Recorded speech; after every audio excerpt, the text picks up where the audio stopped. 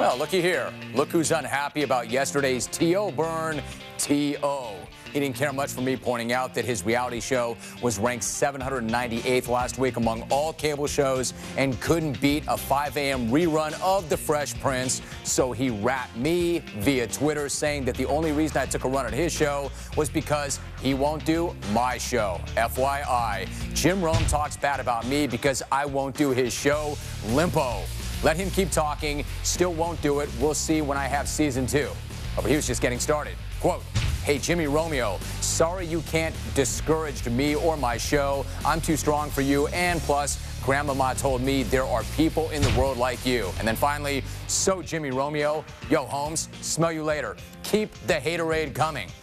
T.O., get nice on me. you know what they say, too? When life gives you hate, make haterade. My man, don't hate because your show don't rate.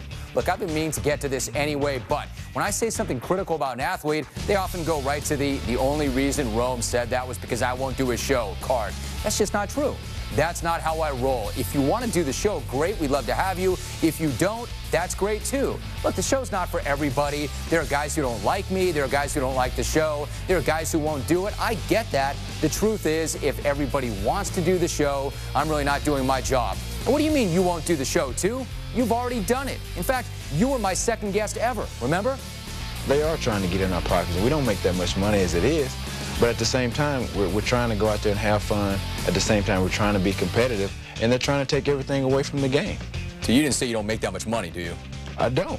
Compared to baseball, basketball, right, I don't make enough money. Well, there you go. Hey, look, thank you for the shout out. Stay strong. And until next time, yo, Holmes, smell you later.